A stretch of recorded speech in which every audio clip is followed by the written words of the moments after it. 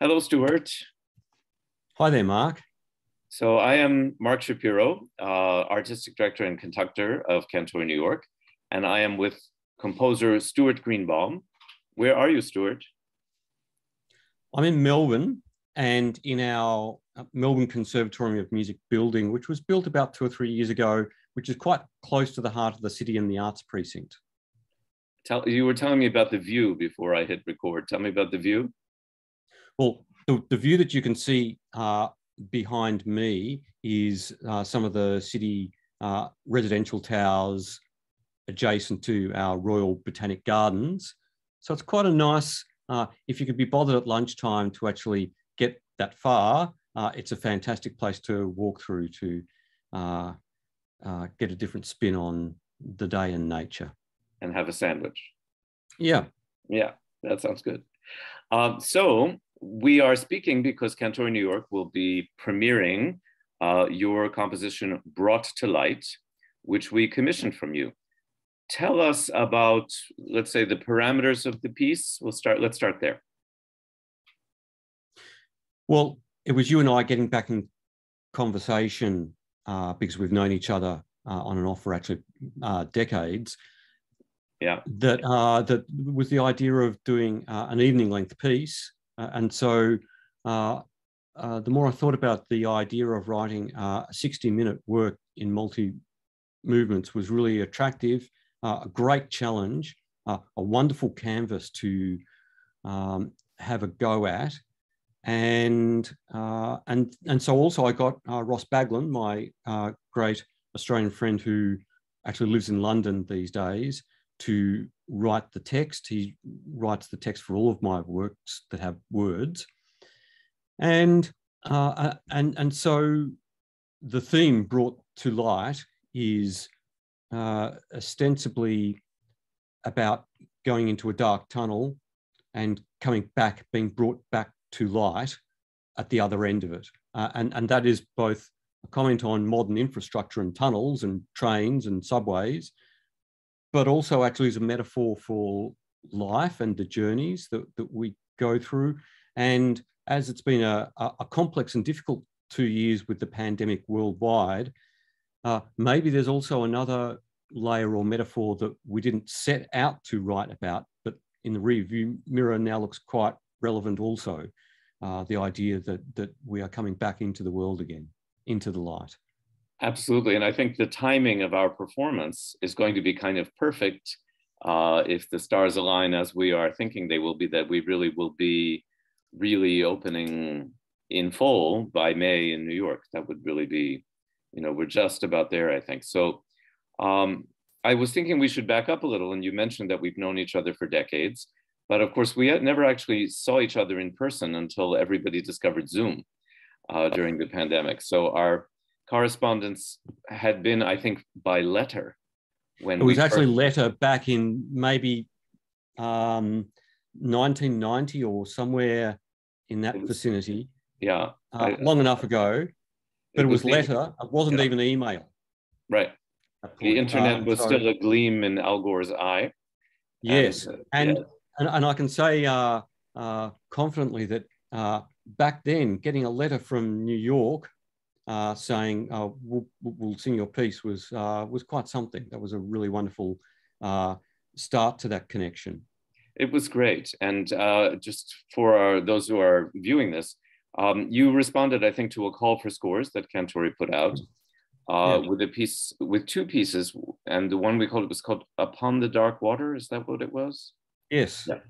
Uh, and that was also with text by Ross Baglin. Yes, indeed. So, so I've been so as long as uh, we've known each other, um, Ross Baglin and I have also been working together. So, so you and Ross and I um, have uh, interesting connections of uh, composers, conductors, and poets for some decades. Yeah, it's really wonderful to think about. And uh, the genesis of this piece was that. Um, I was celebrating my 30th season as Cantori's artistic leader.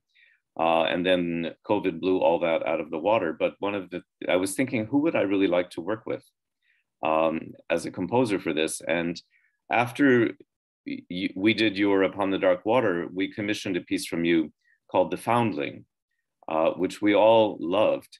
And I'm pleased to tell you there are a few people in the group who are still there from those days, and their recollections of those pieces remain very vivid and very warm. So I think there's a lot of excitement that will come, but even um, among the handful of old timers we have, the idea of coming back to you is uh, just great. Um, so me too. Yeah, yeah. I mean, it, it's really been you. You and I've had a lot of conversations on Zoom, and it feels like it's really been recapturing a friendship that uh, we knew was there, but we'd been out of touch really for quite a while. So um, we can say, let's see, the, the piece is, as you mentioned, an hour, and we can mention it's all choral, few incidental solos, and it's for string sextet and, vibra- and percussion, uh, including vibraphone. Hmm. Um, tell us how you hit on the instrumentation. Uh, not easily, because uh, anytime when composers typically want to work with uh, a cast of thousands, uh, but but then uh, we don't always need to. And I have students who uh, want to write film music with orchestras, and one of my favorite films to show them is The Firm, because uh, the soundtrack to that by Dave Grusin is just solo piano. And it's fantastic. It's amazing. Uh, but uh, and it's a, a, timely reminder to all and sundry that you don't actually need a full orchestra to do amazing things. So when you've got something in between an orchestra and solo piano, let's say seven musicians, uh, it's it's a different kind of uh, not so much a problem, it's a conundrum because you have to think, uh, what do you really want? And at one point, I actually had included harp in that mix. And then maybe I thought, uh, you know, I love writing for woodwinds. Uh, but actually, the more, the more and more I looked, the more and more I liked the idea of a string sextet. It's string quartet with an extra second cello and also a double bass. And that string sextet is something that I've written for in a couple of other works and gotten to know and love as a sonic uh, combination. So then came down to if I was going to write for that sextet, uh, what would I add to that and that also would work well with the voices and the words and the overall concept. And, and so uh, vibraphone came back and, and there's a synergy there also with the Foundling because the Foundling, uh, also written for Cantori New York, was for string quartet and vibraphone.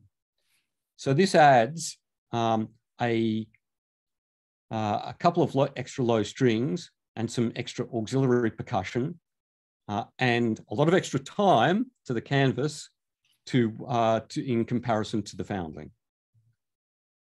Yes, and uh, I think we had an interesting exchange about the percussion where I was, I think, encouraging you to add a few toys that um, you, you were originally, I think it was only vibraphone. Is that right? Yeah, it was. It was originally vibraphone, and then I think the next edition was maybe three suspended cymbals. Uh, mm-hmm. But it's like opening Pandora's box, and so uh, uh, through our uh, regular Zoom meetings and and and and this beautiful process of fine polishing and refining not only the voicing of the choir but the color and pacing of the work, we added in uh, a bass drum which yeah. uh, at times adds some real gravitas. And we added a rain stick or a shaker, uh, I think a triangle, uh, and some wind chimes. Uh, yes, and right. love wind chimes.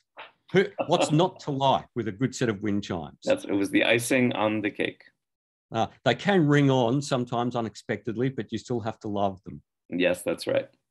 Um, so, can you walk us through a little bit, uh, sort of briefly, movement by movement, what um, uh, the textures that you found and uh, um, anything you want to say about each movement in particular? So I've got the text in front of me and, and, and taking a, a, a little bit of a look through that. It's in six movements um, and they get uh, gradually shorter. That is 12, 10, uh, 12, 10, 8, 6, 4, getting the, the movements get shorter. And then the final movement is 20 minutes. Mm-hmm. So it's like medium to small. And then finally, the finale then is, is the biggest. Um, I love thinking, even before getting up to the words and, and, and setting. I, I love architectural shapes, things that contract and expand. Mm-hmm. And maybe that's true in small ways of how the music comes across. I think the music uh, has is probably maybe described as post minimal. There, there are a lot of oscillating patterns and textures and layers without being pure minimalism. Um, there's. Can you help uh, us understand the distinction you're making in terms of sound? Well, there's lots of melody, uh, but there's also uh, in the strings and vibraphone there are a lot of uh, patterns that that shimmer and oscillate that create motion, mm-hmm. Uh, and working out where that motion would go and where it might be more spacious uh, is always uh, interesting for composers to think where, where, where should the music flow like a constant stream and where do you uh, interrupt or allow spaciousness or silence? And the silence happens, of course, does happen between the movements. Um, all six movements have some level of silence in, in between, but sometimes even you get uh, a breath or a gap uh, within the movements themselves. Um, the first movement uh, talks about um, uh, building a tunnel uh, and the idea of um, uh, the trains that, that, would pass through it and how we would pass through that also. Uh, so it's a building movement in a lot of ways, and the music in that way sort of flows and builds in that way. And in the that second movement, movement, I just want to ask you there, there's when I've been thinking about that movement, there is a feeling of kind of um, industrious optimism or optimistic industry. Um, is that right? Yeah, I think so. And I think um, um, because also uh, there are our own experiences of when we go into, I mean, what does it, uh, depending on your personality and whether you are um, are freaked out by being uh, under a, a, sea or a river and whether that might collapse. Uh, uh, uh, in, in engineering, we trust, I suppose, could also be the motto here. But there's something um, quite exciting about the advent, about the outset of a journey. And sometimes going into a tunnel can be quite interesting and intriguing. But increasingly, as we get into the second, third, fourth, fifth movements, we um, we progress deeper and you get further from the light. And I think at that point, you need uh, to hold an intellectual sense that there really is actually something at the other side. Uh, and so, so the work in some ways gets slower and darker as it progresses into its middle. Yeah. And finally, in the final movement, um, well, a couple of things happened. Uh, we actually, uh, you and I had a long conversation about the fourth and fifth movements, which I completely rewrote. Not so much because uh, there, were, there were things that I miss in those original versions of the fourth and fifth, things that I uh, really liked. But we talked strategically about uh, changing uh, the, the point where, where you get so deep in into a work, at what point do you need something radically different to, yep. to, to, to keep you um, uh, alert and, uh, and awake. And so in the fourth movement, it's for male voices only. And in the fifth movement, it's female voices only. And, and the strings and percussion also totally change in their combination uh, to, to go with that. So it kind of breaks down it, uh, the, the, the, whole group in, in, into smaller components, precisely with the idea that then when the sixth movement starts, the longest one, um, we get to experience um, uh, the depth, the darkness. Um, and I love those uh, moments musically. Um, uh, I like to, uh, it, it, might be gloomy, uh, but I'm always uh, seeking quality gloomy, yeah. if there is such a thing. that is the, the, the gloom that somehow is intriguing and absorbing and, and, and, and pulls you in in a way that is um, um, that has its own intrigue. And I, you have models for that in your compositional pantheon. Well, look, look interestingly, even though uh, um, you know I love Arvo Pärt and, and Steve Reich and, and Pat Metheny, and I love um, a lot of the great classical composers, um, Rachmaninoff and, and others. In actual fact, uh, in terms of that, if you like that darkness and that gloominess, um, I really like 1970s Pink Floyd, mm-hmm. where they're instrumental. Not so much, not so much the song bits, uh, but the bits where they just just have these instrumental uh, passages that that bubble away, um, like on in Sheep from Animals, where almost nothing happens, but it's very very moody, and I'm really drawn to the idea of atmosphere and moodiness. I think it's uh, above anything else. Before I even look at what stylistic influences might be sort of flowing through my um, ears from other people's music at any point in time, um, I think increasingly I seek atmosphere and moodiness. Did you ever hear Pink Floyd in concert? I've never heard them live. No, mm-hmm. I should get out more. well, um, now we. But I have start. all of their albums, and, and, I, and I had study leave about five, six years ago, and I bought every last album and I sat down one week uh, for about two or three days. And from the very start, the late 60s, right through to the present day, even though uh, some members are no longer there, um, I listened to all of it in order. And I found that quite fascinating too. There's something, something lovely, whether, whether it's a rock group or a classical composer or, or an art exhibition in a gallery or reading all the works of Shakespeare, whatever you're into, to get absorbed in the work of one artist or group uh, deeply can be a beautiful thing to do. Yeah, and well, it's great that you were able to do it with them. Um, yeah. tell, tell me a bit uh, more about how you found Ross Baglin back in the day. This is again the poet who wrote the uh, text for Brought to Light, and as you said, is the only poet you work with. Um, and I, I, have to say, I, I, in the, the pieces that I've encountered where he's written the words, he is extraordinary at exactly that. So yes, um, yeah, I, I mean the the musicality of what he does, and but I I've, I do not know anything else about him. Uh, and uh, you know, does he write for other composers, or are you it? Or tell me more. Um, he, look, he doesn't. For many years, he was the uh, HR manager for Africa and Europe for Shell. He has a dark side of working for petrochemical companies. I see. Uh, so, so, so, uh, but but he and I have written a lot over the years, including Upon the Dark Water, of The Foundling, and now Brought to Light. But we met not in classical music. We met when we were undergraduates at Melbourne University, and uh, he, uh, I joined his rock band, uh, which was falling apart. And when I, by the time I joined, it was falling apart even quicker.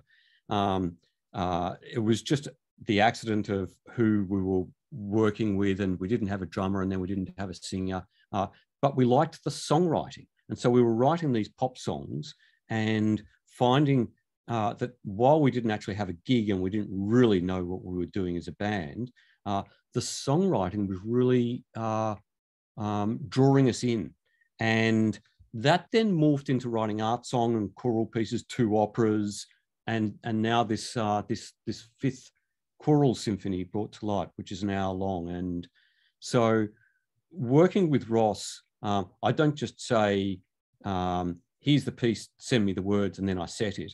Um, as you and I have spent a lot of time in, in recent months um, refining, honing, uh, and, and, and improving the work musically, so, so too, I worked with Ross in a similar way uh, as his dramaturg, as I always do, and in, in uh, suggesting the, the lines that I like and the lines that I don't. And, and if you're Ross, uh, uh, uh, spare a thought for poor Ross when he gets his words back from me and I've highlighted in blue what I love and I've highlighted in red what I think can definitely go.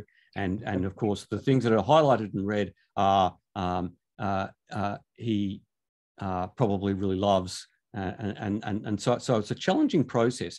But if you've known somebody for a long time uh, uh, and you've worked well together, you you build a level of trust yeah. uh, about and the preparedness to let somebody else uh, critique you, and you have to you have to get up the next morning and say, okay, uh, uh, is that still something that I want, or am I changing it?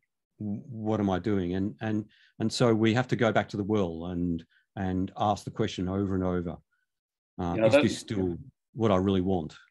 I think that whole question of trust is a very interesting one uh, between performers, composers, composers, librettists, and um, Cantori has been doing so many newer pieces now, and I think that relationship with the composer is so important, you know, and how you how you really feel. I think I think of my own role as one to really try to see into your soul and do my best to help you say what I think you're trying to say to the extent that I can be helpful at all. Um, and I think it's it's it's a it's not to say that people need need help, but I think everybody it's so helpful to have a, a another perspective. So. It's in in, in the, I, I, used to work um, uh, just down the road a couple of blocks for a theatre company um, in my younger days, and um, I loved working uh, for the theatre. Of course, in the theatre, having a dramaturg and having workshops is standard. Yeah. For some reason, in classical contemporary music, uh, we have this uh, strange arcane idea that the composer uh, uh, climbs the mountain, receives uh, the tablets like Moses, comes back down the mountain and says, Here are the notes, folks. Don't change anything. Yeah. it's mad. It's not that clever. Why do we do that? Uh, I'm with you on that one. So, um, and we think so. We think there's a chance you might be able to come to New York for this performance, right? We're not sure yet. Well, I've got I've got leave from work, and and I've got my canoe ready to paddle. If only they'll let me out of the harbour. All right. Well. So so so I'm very much hoping to to to be there, and uh, uh, he he's hoping that the uh, the gods and customs and passport control folk think that's a good idea too it would be an unbelievable thrill to meet in person after 30 years. Yeah. So totally. I, am yeah. uh, uh, I'm so looking forward to it. Wonderful. Well, I'm going to stop the recording and say thank you so much, Stu, and uh, we're all looking forward to this piece enormously. Well, thanks for uh, asking for the piece, Mark and Cantori, and uh, and I hope uh, everyone finds it and and and can make it to come and hear. Exactly.